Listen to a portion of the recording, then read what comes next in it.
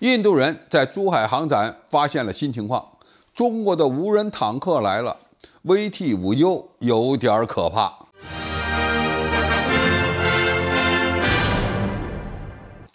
观众朋友，大家好，我是付先少。二零二二年的珠海航展落下了帷幕，但是对于关注中国武器装备发展的国家而言，后续的影响才刚刚体现。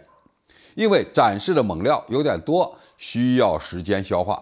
现在的珠海航展可不仅仅是航空航天展，有人将现在的珠海航展形容为中国秀肌肉的、用于恐吓美帝的武器博览会。当然，同时受到刺激的也有印度人。相比于中国在航展上展现的空中作战力量，印度媒体把目光看向了以。一五式轻型主战坦克同级别的 VT 五坦克的发展。据印度《欧亚时报》报道，中国已经发展出了一款 VT 五轻型坦克的改进型，它可以为装甲人员提供增强的保护，并提高机动性。更关键的是，这款轻型坦克还能变身为无人驾驶的版本，也就是装甲人员可以不在车内。对它进行远程遥控，在乌克兰战场上，无人机和反坦克武器都正在摧毁俄罗斯的坦克力量。根据乌克兰国防部公布的数据，迄今为止，俄罗斯已经损失了两千八百多辆坦克。当然，乌克兰的损失也相当惨重，所以中国也在思考未来坦克在战场上的生存问题。由此，VT 五杠 U 坦克应运而生。VT5 坦克的后缀 U 表示，该坦克能够使用便携式无人机或控制台进行无人驾驶或远程监控。而与这种新型坦克同级别的，被中国称为“一五式”的轻型坦克，2020年夏天出现在了与印度军队对峙的第一线，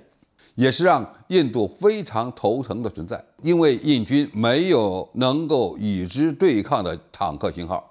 VT 五杠 U 具有多个观瞄系统，包括安装在坦克前部的三个摄像头和一个安装在后部的摄像头。炮塔中还配备了四个摄像头，其态势感知能力甚至超过了有人驾驶的坦克。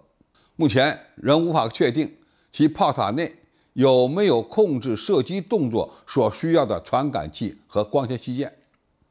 但是可以确定的是，如果中国军队需要，VT 五杠 U 应该是一种可选的无人驾驶坦克。无人控制系统的发展不但能够大大减少坦克乘员的损失，而且还能够进一步提升坦克对抗威胁时的反应速度。中国军队自用的一五式坦克的定位是高原和水网地带使用的轻型主战坦克，它可以在大型主战坦克难以适应的地形中作战，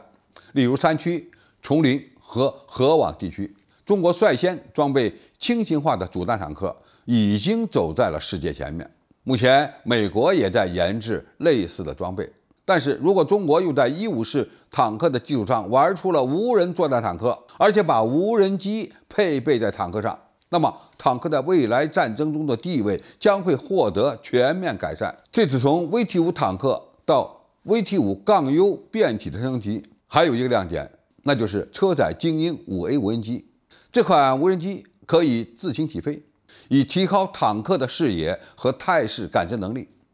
无人机安装在坦克上，以拓宽坦克乘员的世界，并进一步提高坦克在实战中的火力准确性和安全性。VT 五杠 U 的自我防护能力呢也非常强，它采用了毫米波雷达和模块化的主动防御系统，以防止敌方导弹攻击顶部。当安装在坦克顶部的雷达检测到来袭导弹时，会立即触发警报，拦截弹药会迅速发射并将其击毁。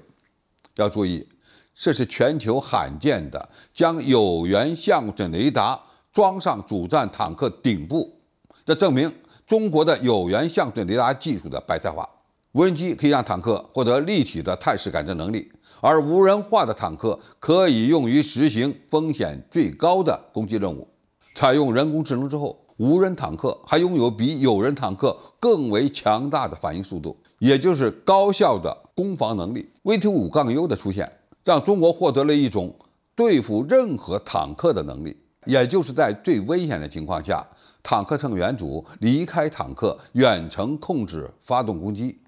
按照中国研制单位的介绍，这种坦克还在验证一个新的理念，就是主弹坦克未来的发展方向将集中在提高态势感知和信息化能力上。坦克在战争中的地位被削弱了吗？这个问题困扰着很多专业人士。或许中国的 VT 五杠 U 就是一个相对比较完美的解决方案。好，今天评述就到这里，谢谢大家收看，我们下期再见。